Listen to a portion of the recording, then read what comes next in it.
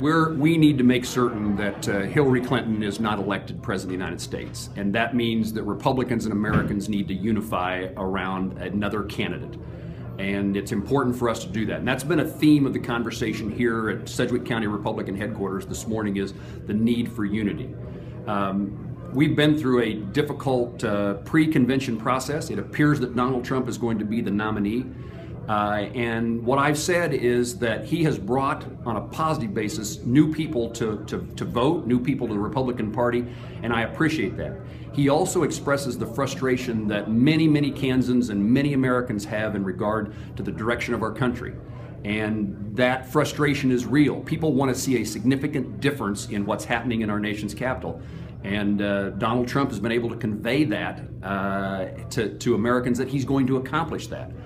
Um, on the other hand, he says controversial things, and there's a lot of space to be filled in in his policies. And so, what I've said, I'm anxious to see how this campaign develops, how he portrays himself, how he convinces uh, the American voter that he has a plan to make America the country that we want it to be.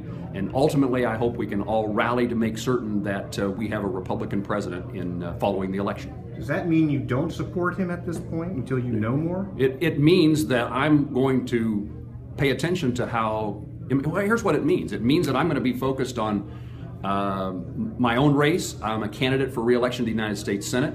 I'm going to run my race. Uh, Donald Trump is going to run his race. Uh, and those two things probably don't uh, come together very, uh, very often. I've never met Donald Trump, but I'm, we're going to be paying attention to our own race and how Kansans feel and say about the issues that matter to them to the United States Senator.